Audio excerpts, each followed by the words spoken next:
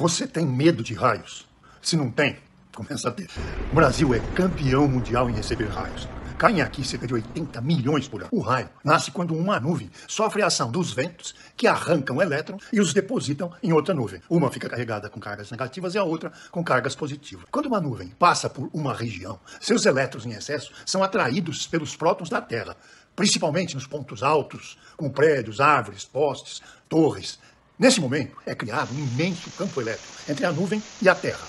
Surge um caminho e os elétrons são violentamente arrancados da nuvem e jogados para a Terra. Isso é o raio. Quando o raio atinge um carro, por exemplo, os pneus de borracha impedem que as cargas do raio fluam para a Terra e eletrizam o carro. Forma geral, as pessoas dentro dele estão protegidas em função de um fenômeno físico chamado de gaiola de Faraday, que faz com que as cargas em excesso, por se repelirem, ocupem o exterior do carro, não afetando os passageiros. O motorista deve, então, achar um poste, um barranco, uma parede, para que ele possa encostar o para-choque do carro e descarregar as cargas que estão acumuladas no carro. Dentro do carro ou ônibus, você está sempre protegido. Não fique em lugares abertos como campos e praias durante as tempestades. Jamais se proteja embaixo de árvores, nunca seja o ponto mais alto. Dentro da piscina é muito perigoso. Em casa, não ligue aparelhos elétricos durante as tempestades. Casas, apartamentos, metrô, grandes lojas são lugares ideais para sua proteção durante as tempestades. Boa chuva para você.